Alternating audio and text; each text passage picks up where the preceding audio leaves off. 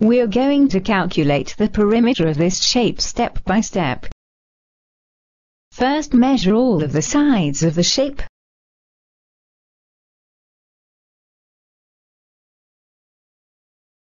This side is 5 centimeters.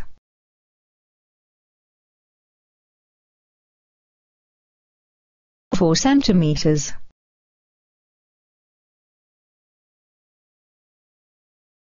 Two centimeters.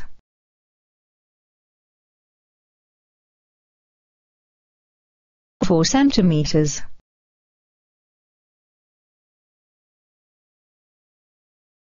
Two centimeters. 5 plus 4 plus 2 plus 4 plus 2 equals 17. The perimeter of this shape is 17 centimeters.